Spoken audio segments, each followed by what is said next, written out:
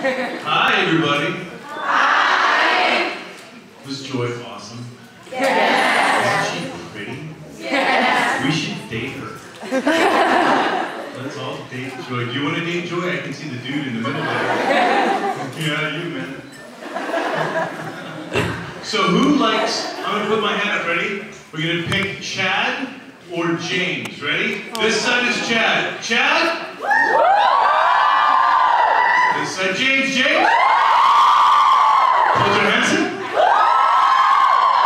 Liars. That's okay. Now, if we can, what was the best years? The first couple years or the last couple years?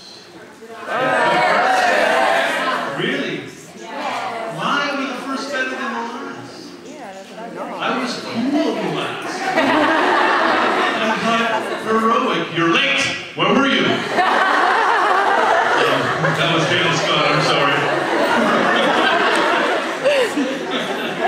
I still have of Dan Scott in me.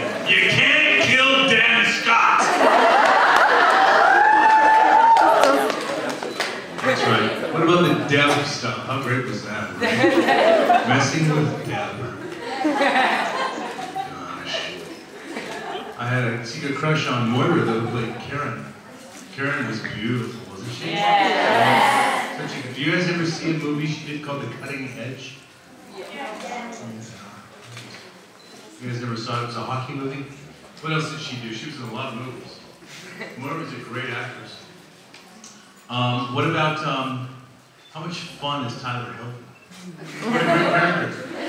Chris Keller. Chris Keller. Do the girls like Chris Keller or do they like the more Stephen Colletti type? Yeah. Chris is in the room, man.